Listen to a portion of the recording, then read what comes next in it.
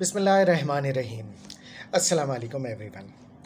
आज हम एक लेक्चर, पहला लेक्चर स्टार्ट करने जा रहे हैं। ये हमारा लेक्चर वन होगा on the topic of diabetes mellitus अब सबसे पहले अगर हम कोई भी डिज़ीज़ पढ़ने जा रहे हों तो then first we should know about the definition of disease और उसके बाद फिर उसकी क्लासिफिकेशन आती है। तो अगर हम डेफिनेशन की बात करें तो as per the American diabetes association Diabetes mellitus is a group of metabolic diseases characterized by inappropriate hyperglycemia resulting from defects in insulin secretion, insulin action, or sometimes both.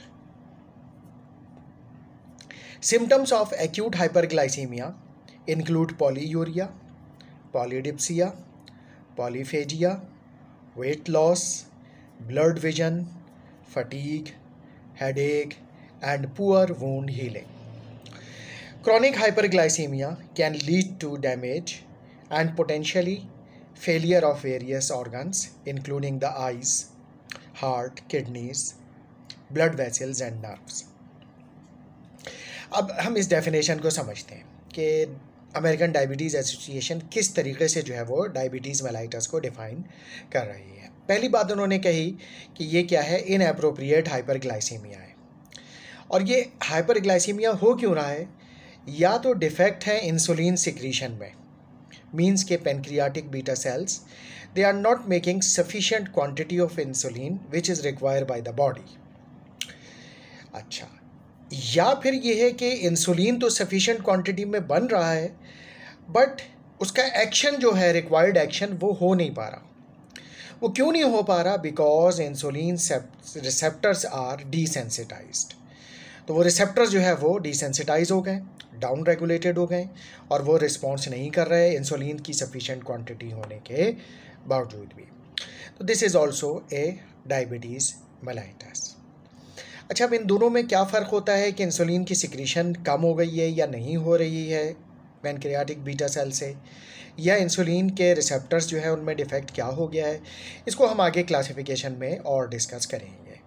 अच्छा आगे ये द डेफिनेशन सेज कि ये दोनों भी हो सकते हैं कि इंसुलिन सिक्रीशन भी इनअप्रोप्रिएट है आ, कम है इनसफिशेंट है और रिसेप्टर लेवल पर भी एक्टिविटी डिक्रीज हुई हुई है। अच्छा सिम्टम्स क्या है? एक्यूट हाइपरग्लाइसीमिया की पॉलीयूरिया होगा मीन्स यूरिनेशन बढ़ जाएगी। पॉलीडिप्सिया होगा, प्यास बहुत लगेगी। पॉलीफेजिया होगा भूख जो है वो बहुत ज़्यादा लगेगी। वेट लॉस होगा, ब्लड विजन होगा फटीक होगी, हेडेक होगा, और वूंड हीलिंग भी पुअर हो जाएगी। और क्रॉनिक हाइपरग्लाइसीमिया, अगर यानी मीन्स के जो डायबिटिक इंडिविजुअल हैं, जिसको ये डायबिटीज़ मेलाइटस हो चुकी है, अगर वो अपनी शुगर कंट्रोल में नहीं रख रहे तो बहुत सारे ऑर्गन जो है वो फेलियर में जा सकते हैं, जिसमें आई है रेटिनल डैमेज और हार्ट है एथेरोस्क्लेरोसिस की वजह से किडनीज़ हैं, वो डैमेज हो सकती हैं ब्लड वेसल्स यानी वैस्कुलोपैथी हो सकती है नर्व्स डैमेज हो सकती हैं सेंट्रल नर्वस सिस्टम हो या पेरिफेरल नर्वस सिस्टम हो, उनमें न्यूरोपैथी हो सकती है, ये सब कॉम्प्लिकेशंस और क्रॉनिक हाइपरग्लाइसीमिया में ये पोटेंशियल इश्यूज़ हैं जो उनको इन तमाम ऑर्गन और साइट्स को बॉडी की फेलियर की तरफ़ लेकर जाते हैं। तो इसलिए जो है वो हमेशा डायबिटीज़ इंडिविजुअल में ये एम्फेसाइज किया जाता है कि उनकी शुगर कंट्रोल में रहे। अब आते हैं हम क्लासिफिकेशन पे। तो हम बहुत सारे तरीक़ों से डायबिटीज़ को क्लासीफाई कर सकते हैं, लेकिन यहाँ पे जो हम अभी classification as per American diabetes association करने जा रहे हैं so there are four classes of diabetes type one diabetes mellitus type two diabetes mellitus gestational and other specific types mean जिसके जो टाइप वन टाइप टू और gestational में fit नहीं हो सकती, वो फिर अदर स्पेसिफिक टाइप में कंसिडर की जाएगी। अब आते हैं हम टाइप वन डायबिटीज़ क्या है?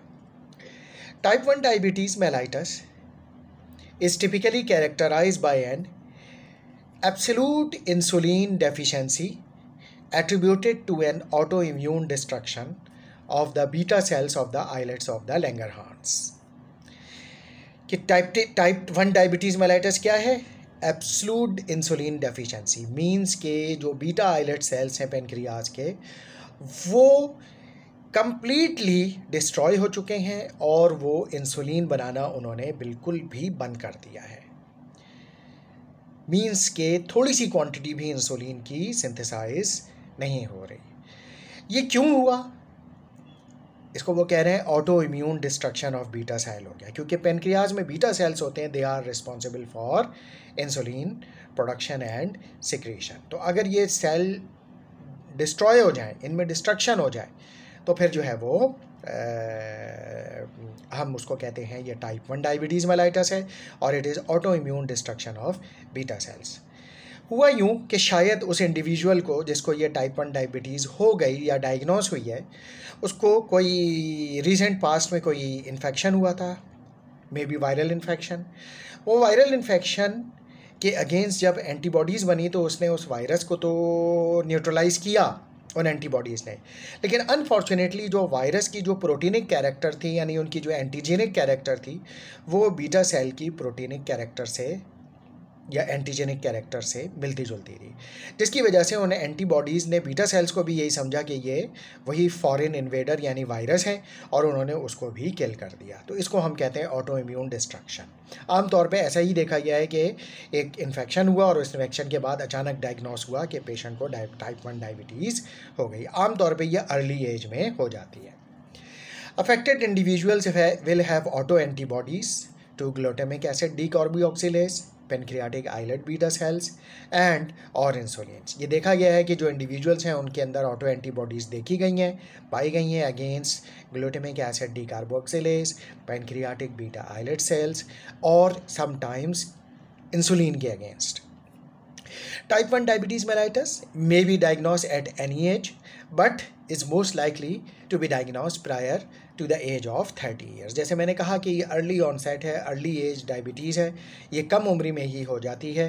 तो इस वजह से जो है वो इसको उन्होंने जो है वो ये लिखा है कि या ये वो ये डिस्कस डिस्कशन में ये बात आई है कि ये आम तौर पे, वैसे तो ये किसी भी एज में हो सकती है but more likely to occur prior to the age of thirty years अच्छा जनाब तो इसमें जो है टाइप वन डायबिटीज़ में जो है, अब हमने ये बात की कि क्योंकि इंसुलिन बिल्कुल ही बनना बंद हो जाती है, इस वजह से फिर हमें इंसुलिन जो है वो एक्जोजेनस इंसुलिन देना पड़ती है। एक्जोजेनस इंसुलिन यानी वही इंजेक्टेबल फॉर्म में पेन इंसुलिन आती है इंसुलिन सिरिंज के ज़रिए इंसुलिन दी जा सकती है। जो इंसुलिन वाइल से इंसुलिन जो है वो विड्रॉ करके वो इंसुलिन दी जा सकती है। तो इस तरह से जो है हम ये इंसुलिन जो है वो एडमिनिस्टर करते हैं एक्जोजीनस इंसुलिन अब क्योंकि ये इन पेशेंट इंसुलिन पे डिपेंडेंट हो गया है एक्जोजीनस इंसुलिन पे, इसी वजह से इसको हम इंसुलिन डिपेंडेंट डायबिटीज़ मलाइटस भी कहते हैं। अच्छा जनाब तो ये हो गई टाइप वन डायबिटीज़ अब आते हैं हम टाइप टू डायबिटीज़ पे कि टाइप टू डायबिटीज़ मेलाइटस क्या है। Type two diabetes mellitus is the most common form of diabetes and is typically identified in individual over the age of thirty years type two diabetes ये सबसे common है diabetes individual में। सबसे common जो diabetes होती है that is type two diabetes और usually ये after the thirty years of होती है। लेकिन ये कि उससे पहले भी हो सकती है। अच्छा फिर it has become a more prominent diagnosis in adolescence of certain ethnic origin कुछ एथनिक ओरिजन है जिनमें ये एडोलिसेंट एजेस में भी एज में ग्रुप में भी देखा गया है। लाइक फॉर एग्जांपल हिस्पैनिक्स जो अमेरिका में हिस्पैनिक, स्पेनिश ओरिजिन के लोग हैं एंड अफ्रीकन अमेरिकन अच्छा those diagnose with type two diabetes are typically overweight और obese have a positive family history of diabetes and और exhibit signs of insulin resistance insulin resistance क्या है? यानी वही बेसिकली इंसुलिन की सेंसिटिविटी कम हो गई है रिसेप्टर पर, जिसको हम इंसुलिन रेजिस्टेंस भी कहते हैं। उसमें क्या होगा? For example truncal obesity trunk obese होगा high triglyceride level low H D L level H D high density protein cholesterol जो एच डी एल कोलेस्ट्रॉल जो होगा उसकी क्वांटिटी लो होगी। इसके अलावा एखेंथोसिस नाइग्रिकेंस यानी स्किन पर कुछ ऐसे हार्ड मास डिपॉजिट होंगे, जिसको हम एकेंथोसिस नाइग्रिकैन कहते हैं। Auto antibodies found in type one D M are absent in type two D M type two diabetes mellitus में ऑटो एंटीबॉडीज़ नहीं होती हैं। कोई ऐसा प्रॉब्लम नहीं होता। अब इसमें ये होता है कि actually beta islet cells are may be functioning और वो फंक्शनिंग है fully functioning insulin is release as per requirement of the body लेकिन प्रॉब्लम क्या है कि इंसुलिन के जो रिसेप्टर रिसेप्टर्स हैं वो रेजिस्टेंट हो गए इंसुलिन रेजिस्टेंस हो रही है रिसेप्टर डिसेंसिटाइज हो गए। इस वजह से क्या प्रॉब्लम आ रहा है कि जब इंसुलिन अपने रिसेप्टर से बाइंड नहीं होगा, उस रेजिस्टेंस या इनसेंसिटिविटी की वजह से तो उसकी वजह से क्या होगा कि जब इंसुलिन रिसेप्टर से बाइंड नहीं हो पाएगा तो फिर ग्लूकोज ब्लड से सेल के अंदर एंटर नहीं हो पाएगा और ब्लड में ग्लूकोज लेवल हाई रहेगा और जिसको हम हाइपरग्लाइसीमिया कह रहे हैं। अच्छा एक तो ये इशू है। दूसरा ये है कि हो सकता है कि insulin receptors are okay but problem is that कि insulin is not sufficiently produced by the pancreatic beta cells तो उस सूरत में भी जो है वो टाइप टू डायबिटीज़ मेलाइटस हो सकता है, लेकिन ऑटो एंटीबॉडीज़ नहीं होंगी। ऐसा नहीं होगा कि there is absolute deficiency of type two absolute deficiency of insulin जैसा कि टाइप वन में हमने देखा था। तो ये हो गई टाइप टू डायबिटीज़ अब आइए gestational diabetes gestational diabetes is condition in which women First, exhibit levels of elevated plasma glucose during pregnancy. Women previously diagnosed with diabetes prior to pregnancy are excluded from this classification. तो gestational diabetes की definition क्या हुई gestational diabetes mellitus ये है कि first time किसी women ने ये एक्सपीरियंस किया कि उसको हाइपरग्लाइसीमिया हो गया ग्लूकोज लेवल नॉर्मल से अबव हो गए बट ड्यूरिंग प्रेगनेंसी प्रेगनेंसी से पहले ऐसा नहीं था हाँ वो मेमेन जिनको प्रेगनेंसी से पहले ही हाइपरग्लाइसीमिया था टाइप वन या टाइप टू था, फिर उसको हम जेस्टेशनल डायबिटीज़ मेलाइटस नहीं कहेंगे, बल्कि वो टाइप वन या टाइप टू की ही कैटेगरी में आएगी। After pregnancy the diagnostic classification of G D M means gestational diabetes mellitus may be change based on the postpartum testing means कि आफ्टर द डिलीवरी आप फिर चेक करेंगे। अगर ग्लूकोज लेवल नॉर्मल पर आ जाते हैं तो फिर ये पेशेंट को जेस्टेशनल डायबिटीज़ ही था। और अगर वो नॉर्मल नहीं आते तो फिर इसका मतलब ये है कि पेशेंट को टाइप वन या टाइप टू में से कोई एक कंडीशन हो गई है। जैसे मैंने अभी थोड़ी देर पहले तस्करा किया कि टाइप टू के चांसेस सबसे ज़्यादा होते हैं, क्योंकि इस टाइप टू डायबिटीज़ मेलाइटस की प्रेवलेंस सबसे ज़्यादा है। तो ये तीसरी टाइप हो गई। अब चौथी टाइप पर आई है other specific type this is also called secondary diabetes अगर when the diagnosis of diabetes is a result of other disorder for example Cushing syndrome acromegaly cystic fibrosis Down syndrome pancreatic disorder और sometime with treatment with for example glucocorticoid antipsychotics तो secondary cause होगी Cushing syndrome means Cushing syndrome में जो है वो glucocorticoid जो adrenal gland है, वो ज़्यादा बनाना शुरू कर देते हैं। तो कॉर्टिसोल ज़्यादा बनना शुरू हो जाता है, जिसकी वजह से हाइपरग्लाइसीमिया होता है। एक्रोमेगैली में जो है वो ग्रोथ हार्मोन ज़्यादा रिलीज़ होता है। सिस्टिक फाइब्रोसिस में जो लाइपेज एंजाइम जो होते हैं, वो एबसेंट होते हैं तो ग्लूकोज ज़्यादा बनता है।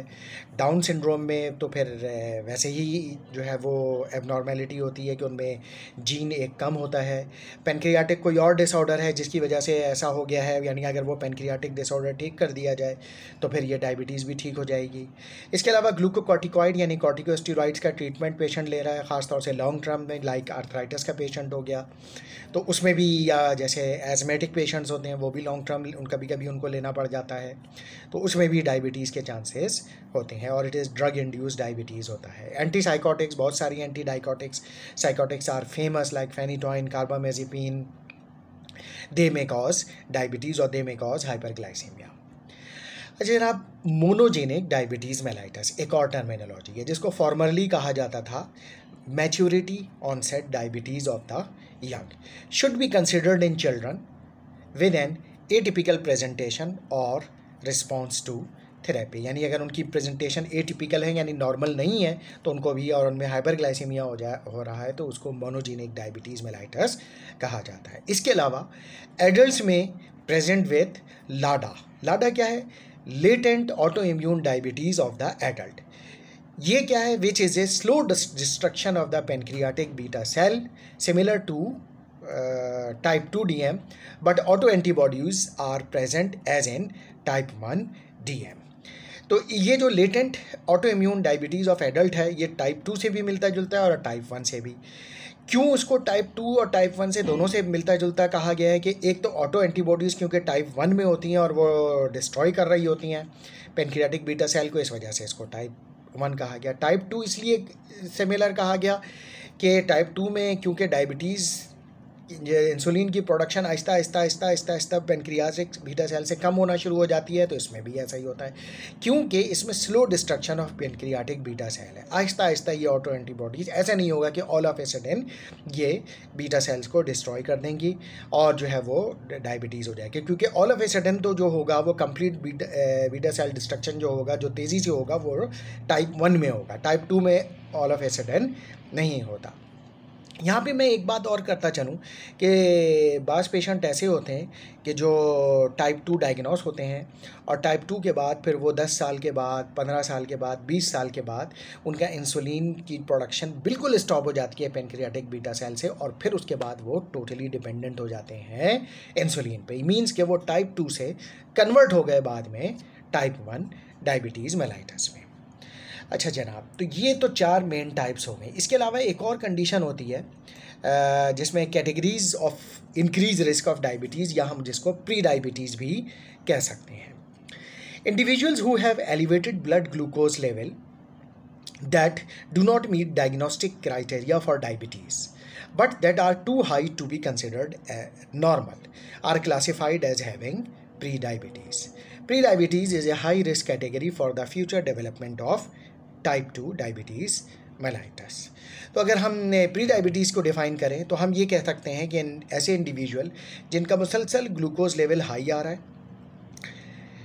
इतना हाई नहीं है कि हम उसको डायबिटीज़ डिक्लेयर कर दें, लेकिन इतना नॉर्मल भी नहीं है कि हम, या उतना भी कम भी नहीं है, उस लेवल पे भी नहीं है कि हम उसको कैंस कंसिडर करेंगे ये नॉर्मल है। तो फिर हम उसको कहेंगे कि ये पेशेंट जो है वो प्री डायबिटिक है और प्री डायबिटीज़ का शिकार है। ऐसे इंडिविजुअल में हाई रिस्क होता है कि आगे ये इंडिविजुअल्स अगर ये केयर नहीं करेंगे तो बहुत जल्दी ये टाइप टू डायबिटीज़ मेलाइटस में कन्वर्ट हो जाएँगे। अच्छा अगर अब हम इसकी स्टैटिस्टिक्स पे गौर करें डायबिटीज़ की तो हमें आ, क्या चीज़ें पता चलती हैं? तो डायबिटीज़ के हवाले से जो स्टैटिस्टिक्स हैं in United State an estimated of 8.3 percent of the population has diabetes mellitus. And 35% of adults aged 20 years or, and older have pre-diabetes. So 35% pre-diabetes, अगर ये आगे चल के ये डायबिटीज़ टाइप टू में कन्वर्ट हो जाते हैं तो it is a big figure disparities exist in the diagnosis of diabetes across the ethnic groups and my uh, minority population with uh, Native American and Alaska natives having the highest rate of diagnosed diabetes which is 16.1% followed by blacks 12.6% and Hispanics 11.8%. Type 2 diabetes mellitus account for more than 90% of the cases of diabetes means कि सबसे ज़्यादा जो है वो जो diabetes more than ninety percent यानी among total cases of diabetes mellitus में more than ninety percent cases जो होंगे वो टाइप टू डायबिटीज़ मेलाइटस के होंगे। अच्छा जनाब, अब हम आते हैं ये तो हमने क्लासिफिकेशन देख ली, थोड़ा सा इसकी एपिटीमोलॉजी देख ली यूएस में, और थोड़ा सा हमने इसको डिस्कस कर लिया। क्योंकि बाकी दुनिया का डेटा इतना ज़्यादा वेल इस्टेब्लिश नहीं है, इसलिए लोकल रेफरेंस को हम देख लेंगे जब भी कभी ज़रूरत पड़ेगी। तो इन जर्नल यही है कि डायबिटीज़ एंड हाइपरटेंशन दोनों ऐसी डिजीज़ें हैं, जो कि ग्लोबली जिनकी प्रेवलेंस बहुत ज़्यादा है, जिनकी बहुत हाई प्रेवलेंस है। Anyway now our next important topic is pathophysiology of diabetic state. Now the normal glucose regulation क्या है? Normal glucose re regulation involves many factors including uh, insulin, uh, insulin secreting hormone, इसके अलावा counter regulatory hormones incretin hormones and amylins. Changes to any of these factor may result in an imbalance in glucose level. Means कि insulin secretion, इसके जो counter regulatory hormone है like glucagon and दूसरे other hormone वो incretin hormone amylin अगर इनकी secretion में कहीं पे भी वेरिएशन आती है इम्बेलेंस होता है तो जिसकी वजह से ग्लूकोज के लेवल में भी डिफरेंसेस आ जाएँगे अब हम आते हैं कि इंसुलिन का रोल क्या है बेसिकली तो अगर हम इंसुलिन के रोल पे बात करें तो insulin regulates the metabolism of carbohydrate proteins and fats as follows वो क्या पॉइंट्स हैं? क्या क्या, किस किस तरीके से करती है? नंबर वन इंसुलिन क्या करती है? Promote the cellular uptake of plasma glucose and stimulate conversion of glucose into energy storage molecules, for example glycogen and fats in the liver, muscles and adipose tissues. तो insulin क्या करती है कि glucose जो blood में मौजूद है, उसको लिवर में मसल्स में और एडिपोज टिश्यू में ट्रांसफ़र करती है और वहाँ पे ले जाके स्टोर करती है जो एक्स्ट्रा होता है in the form of glycogen and fat इसके अलावा facilitates cellular uptake of amino acids and their incorporation into the protein cell के अंदर अमाइनो एसिड के इनकॉर्पोरेशन को बढ़ाती है, ताकि उससे प्रोटीन सिंथेसिस हो। Inhibit production of glucose from the liver muscle glycogen and amino acids और लिवर मसल में से अमाइनो ग्लाइकोजन और अमाइनो एसिड्स की प्रोडक्शन को इनिबिट करती है, क्योंकि ब्लड में जितना ग्लूकोज होता है, वो उसको सेल के अंदर ले जाना चाहते हैं। क्योंकि इनका काम, जैसे हमने ये शुरू में ही पढ़ा कि ये क्या करते हैं कि जो लिवर मसल्स और एडिपोज टिश्यूज़ में ग्लाइकोजन और फैट स्टोरेज को बढ़ाते हैं। इसके अलावा decrease the breakdown of fatty acids to ketone bodies और जो असल में फैटी एसिड्स या कीटोन बॉडीज़ क्यों बनती हैं? जब सेल को ग्लूकोज नहीं मिलता डायबिटीज़ में, यानी इंसुलिन की डेफिशिएंसी हो जाती है तो जब सेल को ग्लूकोज नहीं मिलता तो फिर सेल अपनी एनर्जी को रेस्टोर रखने के लिए फैट्स को मेटाबोलाइज करना शुरू कर देता है, जिसकी वजह से उसकी एंड प्रोडक्ट कीटोन बॉडीज़ बनना शुरू हो जाती हैं। तो ये उस सूरत में होता है। लेकिन अगर इंसुलिन होगा तो ग्लूकोज मिलता रहेगा सेल को और एनर्जी की रिक्वायरमेंट ग्लूकोज से पूरी होती रहेंगी, जिसकी वजह से फैटी एसिड्स को को मेटाबोलाइज करने की ज़रूरत कैटाबोलाइज करने की ज़रूरत नहीं पड़ेगी सेल को in order to get the energy क्योंकि एनर्जी उसको मिल जाएगी खुद ब खुद ग्लूकोज से। अच्छा इंसुलिन के कुछ काउंटर रेगुलेटरी हार्मोन्स हैं। In diabetes uh, counter regulatory hormones in diabetes are hormones that work against insulin means के ये ऐसे हार्मोन हैं जो इंसुलिन के अगेंस्ट यानी जो काम इंसुलिन कर रही है, ये उसके अपोजिट करते हैं।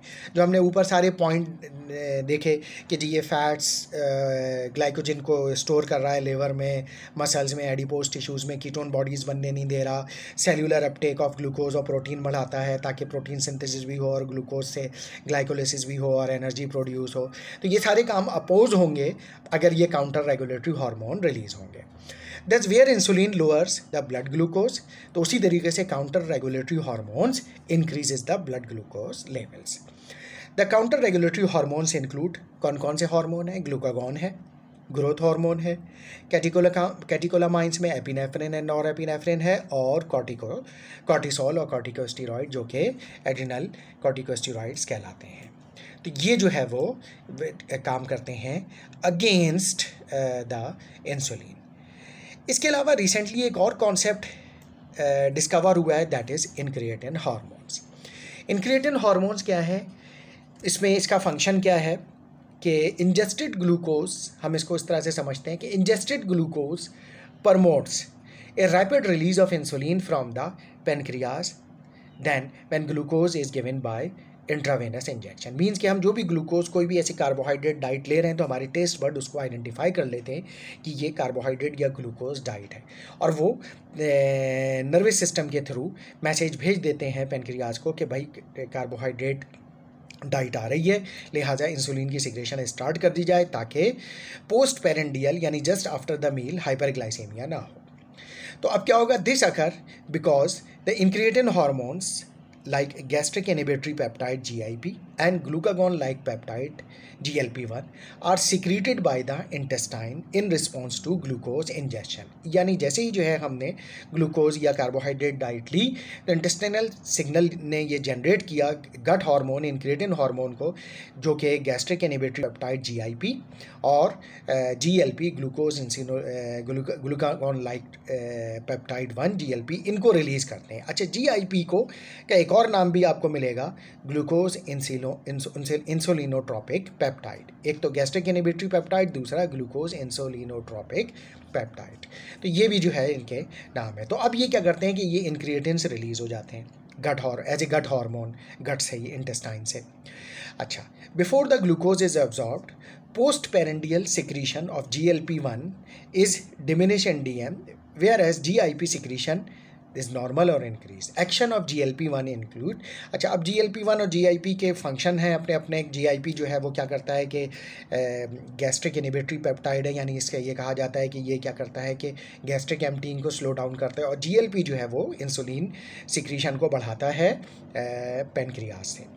तो ये क्या करेगा कि increase the glucose dependent insulin यानी जीएलपी क्या करेगा? यही जो गट हार्मोन है increase glucose dependent insulin secretion ठीक है, जितना ज़्यादा ग्लूकोज लिया है, उतना ज़्यादा इंसुलिन सिक्रीशन इसके अलावा inhibit inappropriate glucagon secretion यानी ग्लूकागॉन की सिक्रीशन को भी सप्रेस करेगा.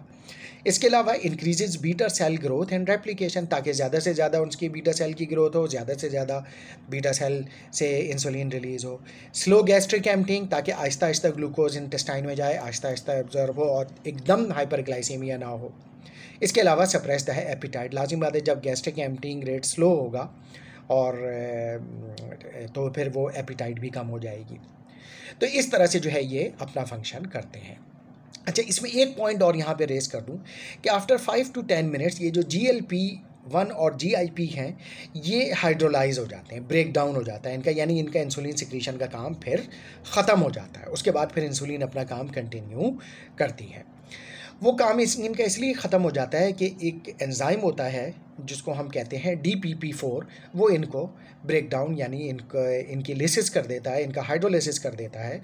वो डी पी पी फोर है abbreviation dipeptidyl peptidase four वो एंजाइम इनको ब्रेक डाउन कर देता है, जिसकी वजह से जी एल पी वन और जी आई पी का फ़ंक्शन जो है वो फिर कंटिन्यू नहीं रहता। तो बेसिकली ये incretin hormone post prandial hyperglycemia को कंट्रोल करते हैं। क्योंकि जैसे हमने बताया है कि जैसे ही हमने फ़ूड लिया जीएलपी जीआईपी यानी incretin hormone gut hormone release हुए, इन्होंने इंसुलिन सिक्रीशन कराई।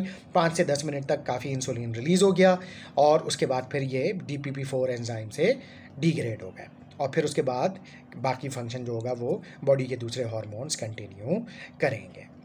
यही वजह है कि इसमें यह देखा गया था कि टाइप टू डायबिटीज़ के इंडिविजुअल में D P P four enzyme की एक्टिविटी बढ़ गई थी, जिसकी वजह से जी एल पी वन और जी आई पी को अपना इंसुलिन सिक्रीशन का काम करने का सही टाइम नहीं मिल पाता था। और वो जल्दी हाइड्रोलाइज हो जाते थे D P P four enzyme की वजह से, जिसकी वजह से पोस्ट पेरेंडियल हाइपरग्लाइसीमिया होता था। और एक ड्रग बनाई गई इसी के, इसी को टारगेट करके, जो कि D P P four inhibitor यानी सीटा गिलिप्टिन कहलाती है, जो इस एंजाइम को ब्लॉक कर देती है ताकि जी एल पी वन और जी आई पी वन अपना जो इंसुलिन सिक्रीशन का काम है, वो मुकम्मल कर सकें। तो ये हमने इनक्रेडिन हार्मोन के हवाले से बात कर ली। अब आइए हम एमाइलिन क्या है? Amylin is a hormone that is co secreted with insulin from the pancreatic beta cell thus in an individual with type one D M little or no amylin is produce whereas in type two D M amylin is produce but in an insufficient quantity अच्छा amylin lowers the post prandial blood glucose levels by the following actions तो amylin जो है वो lower करता है post prandial blood glucose level by the following action means prolongs the gastric emptying time decrease post prandial glucagon secretion and suppress the appetite तो इस तरीके से ये बेसिकली जो है वो पोस्ट पेरेंडियल हाइपरग्लाइसीमिया को होने से रोकता है। तो एमाइलिन का भी अपना एक रोल मौजूद है। तो इसके साथ जो है हमने ये हार्मोन्स का तस्करा यहाँ पर कर लिया और हार्मोन्स के हवाले से इम्पोर्टेंट पॉइंट डिस्कस कर लिए। अब आते हैं हम डेवलपमेंट ऑफ़ डायबिटीज़ पे।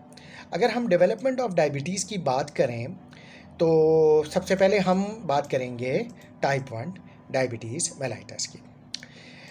जेनेटिक प्री डिस्पोजिशन मीन्स के genetic factor environmental factors and auto immunity have been purpose as the causes that lead to progressive beta cell dysfunction and eventually overt diabetes mellitus कि genetic predisposition genetic factor environmental factor auto immunity ये सब जो है factors हैं जो कि lead करते हैं फिर बीटा सेल डिस्ट्रक्शन का और डायबिटीज़ मेलाइटस हो जाता है। Type one D M is the result of immune mediated destruction of the beta cell and is characterise by the abrupt onset of clinical signs and symptoms ठीक है, ये immune mediated destruction of beta cell है और abrupt onset है। Clinical sign and symptom abruptly इसके appear होते हैं। तो इस वजह से जो है वो ये टाइप वन डायबिटीज़ मेलाइटस कहलाता है। जैसे हमने पहले भी इसके जब डिस्कशन कर रहे थे, इसकी डेफिनेशन कर रहे थे क्लासिफिकेशन तो वहाँ पर भी हमने इस पॉइंट को डिस्कस किया था। अच्छा जेनेटिक्स में कुछ जीन्स आइडेंटिफाइड हैं या एंटीजेंस आइडेंटिफाइड हैं कि शायद इनका कुछ रोल है। Like human leucocyte antigen H L A DQA and DQB appear to code for either disease susceptibility और इसके सब कोड हैं DR3, DR4, HLA DQA1 0301 and HLA DQA1 0302 इस और रेजिस्टेंस जीन्स भी मौजूद हैं D R B one zero four zero zero eight D Q B one zero three zero two D R B one and HLA DR4 present but 95% of these individuals have HLA DQA 0301 and HLA DQA 0302 तो 95 percent individual में जो gene पाया गया genetic uh, factor uh, पाया गया जो common चीज़ देखी गई वो H L A D Q A one zero three zero one H L A D Q A one zero three zero two ये कोड या ये जीन जो कि आइडेंटिफाइड हैं देखे गए हैं. However in studies of identical twins there is a fifty percent discord concordance rate discordance rate suggesting that the other factors such as the environment for example infectious agent chemical agent dietary agent may be contributing factor to the disease development अच्छा अब इसमें यह बात आती है कि वो ये कह रहे हैं कि आइडेंटिकल टोन में अगर ये आइडेंटिकल ट्विन जैसा कि आपको पता है कि एक ही जाइगोड से बनता है और उनका जेनेटिक कैरेक्टर एक ही जैसा होता है। तो उसमें ये फिफ्टी परसेंट डिस्कॉर्डेंस देखी गई। मीन्स कि अगर दोनों में ये जीन मौजूद था H L A D Q A one जिसकी हम बात कर रहे हैं, ये जीन मौजूद था तो अगर एक को हुई डायबिटीज़ मेलाइटस तो दूसरे को भी होनी चाहिए, लेकिन ऐसा नहीं हुआ। फिफ्टी परसेंट इसके कम चांसेस देखे गए। तो इसी वजह से ये सजेस्ट किया जाता है कि इसका मतलब है कि सिर्फ़ ये जीन ही नहीं, बल्कि दूसरे फैक्टर्स भी कंट्रीब्यूट कर रहे होते हैं लाइक इन्फेक्शस एजेंट्स कोई केमिकल एजेंट है या डाइट्री एजेंट है, जो type one diabetes mellitus develop करने में अपना रोल प्ले कर रहे होते हैं, यानी हंड्रेड इस जीन का रोल नहीं है। The risk of developing type 1 DM is increased in the offspring of individuals diagnosed with diabetes ये बात भी वेरी कॉमन है और हम बहुत पहले से भी इस बात को जानते हैं कि वो लोग जो कि डायबिटिक हैं टाइप वन डायबिटिक हैं, उनके ऑफ़ स्प्रिंग में भी डायबिटीज़ के टाइप वन डायबिटीज़ के चांसेस बहुत ज़्यादा होते हैं। अब आते हैं हम एनवायरमेंटल फैक्टर पे। ये तो हमने जेनेटिक फैक्टर पे बात कर ली। Environmental trigger such as viral infection जैसे मैंने शुरू में भी बताया था कि वायरल इन्फेक्शन की वजह से जो एंटीबॉडीज़ बनी, वो बीटा सेल की, को भी उन्होंने डिस्ट्रॉय कर दिया उन एंटीबॉडीज़ ने। For example rubella virus infection coxsackie B infection या केमिकल्स और dietary for example cow's milk have been suspected in the development of type one diabetes mellitus क्योंकि काउ मिल्क में भी प्रोटीन होती हैं। तो केमिकल्स हैं, उसके अगेंस्ट एंटीबॉडी बनी और वो एंटीबॉडीज़ जब बनी तो उसमें के जो केमिकल या काओ मिल्क या जो वायरस थे, इनके एंटीजन या एंटीजेनिक प्रॉपर्टी या प्रोटीनिक प्रॉपर्टी बीटा सेल की प्रॉपर्टी से मिलती जुलती थी, जिसकी वजह से दे हैव जो एंटीबॉडीज़ थी, उन्होंने इस वायरस या इन केमिकल्स और काउज मिल्क की प्रोटीन को न्यूट्रला न्यूट्रलाइज कर ही दिया। लेकिन उसके साथ ही दूसरा प्रॉब्लम उन्होंने ये क्रिएट कर दिया कि उन्होंने बीटा सेल को भी डिस्ट्रॉय कर दिया क्योंकि उसकी प्रोटीनिक कैरेक्टर मिलती जुलती थी इन सब्सटेंसेस से या इन एनवायरमेंटल ट्रिगर से। Auto immunity and auto immune component possibly triggered by an environmental factor is an involve in the development of type one D M हम इस पर पहले भी बात कर चुके हैं कि ऑटो इम्यून फैक्टर है एनवायरमेंटल फैक्टर है। एंटी इंसुलिन और एंटी बीटा सेल एंटीबॉडीज़ ठीक है, दो तरह की एंटीबॉडीज़ की बात हो रही है। एंटी इंसुलिन यानी इंसुलिन जो बन गया है, उसके अगेंस्ट एंटीबॉडीज़ तो हम उसमें यही हो रहा है कि जो इंसुलिन रिलीज़ हो रहा है, वो फिर कम्प्लीटली जो है वो वो न्यूट्रलाइज हो जाता है। इससे पहले कि अपने रिसेप्टर से बाइंड हो। And anti beta cell antibodies are present in the blood of most individual at the time of diagnosis of type one D M antibodies to glutamic acid de carbo carboxylase are found in the blood of approximately 70% percent of individuals diagnose with type one D M thus the presence of these antibodies may serve as an immunologic predictor of the future development of diabetes यानी अगर glutamic acid de carbo carboxylase के against antibodies auto antibodies मौजूद हैं किसी के blood में तो there is a strong probability कि इसको पेशेंट को या तो अभी टाइप वन डायबिटीज़ हो चुकी है या आगे चल के टाइप वन डायबिटीज़ हो जाएगी।